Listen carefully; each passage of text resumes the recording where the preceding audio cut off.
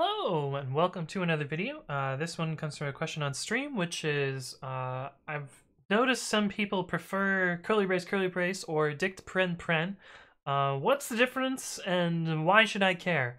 Um, and turns out there's kind of two main differences, and uh, one of them is a performance concern. Now, granted, it isn't much of a performance concern because they're both they're both pretty fast, or, or hopefully not a bottleneck in your program. Of course, if you're looking for bottlenecks in your program, you should probably profile them before, you know, just randomly changing things. Um, but you, you might also find that a stylistic choice could potentially have a performance impact. So uh, something to look out for. Uh, but anyway, let me show you the difference between the two and uh, why this kind of matters, uh, as well as, you know, what, what I advise there. Uh, but anyway, let's jump into Python.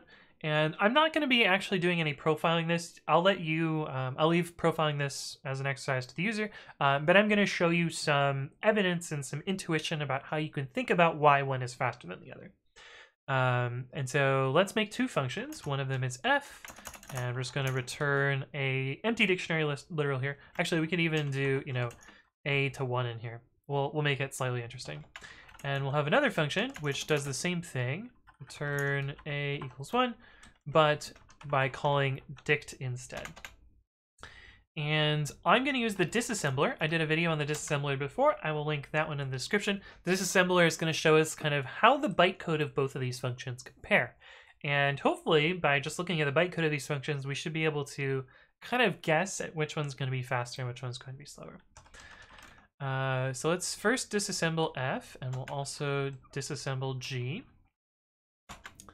And um, if we look at this, um, we got here.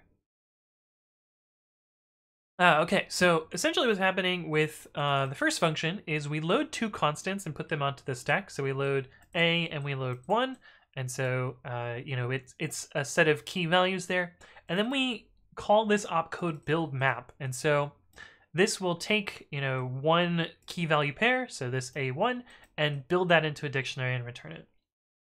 Now, the one thing about CPython bytecode is, uh, you know, anything that's done in the bytecode tends to be much, much faster than things that are done by calling functions or accessing attributes or, uh, you know, dereferencing operators or all those other things are going to be much, much slower than anything that can be implemented directly in the opcode loop.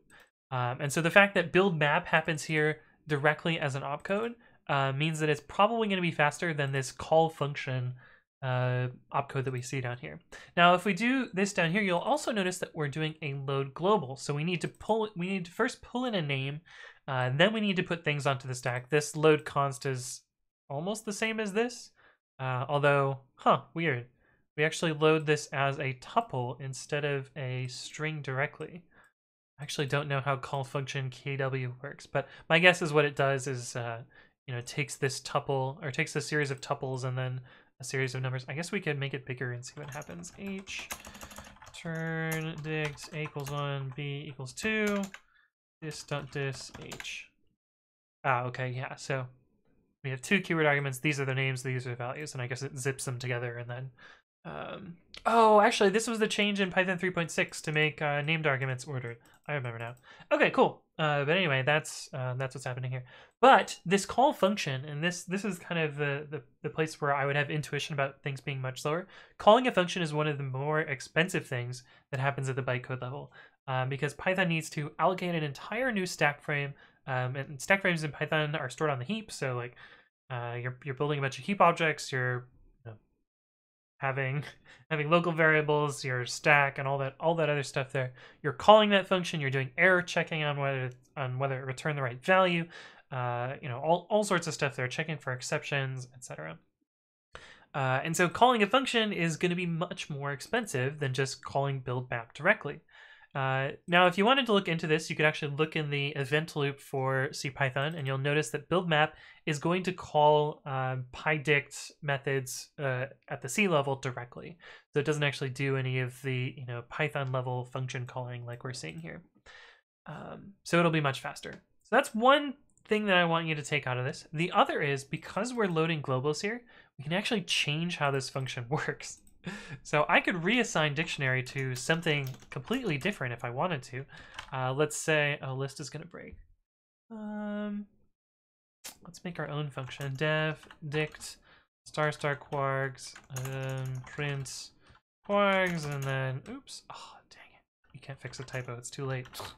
star star kwargs, print kwargs, and then I don't know return five. so we we can completely break how dictionary works because it's doing a global lookup for this. And so this name could be reassigned or monkey patched or all sorts of stuff. So now you can see if we run G, um, it printed A1 because those are the keyword arguments that we passed, and then we get back five instead of a dictionary like we originally had. Um, and so that could be an undesirable effect. My advice is to pick one and stick with it. I tend to stick to dictionary literals um, be because I don't know they they look better to me this one kind of looks too close to like an object instantiation, and so you know, I, I, like to I like to remind myself the dictionaries are squishy and that I should avoid them when possible. Um, because you know it's it's too easy to have unstructured it's too easy to have bugs from unstructured data so that's that's why i don't really like dictionaries but anyway uh, pick one stick to it uh, ideally set up a code formatter or a linter that's going to solve this for you so you don't even have to think about this as a problem um, Anyway, that's the difference between the two. Hopefully this was useful. If you have additional things you want me to explain, leave a comment below or reach out to me on the various platforms. Thank you all for watching, and I will see you in the next one.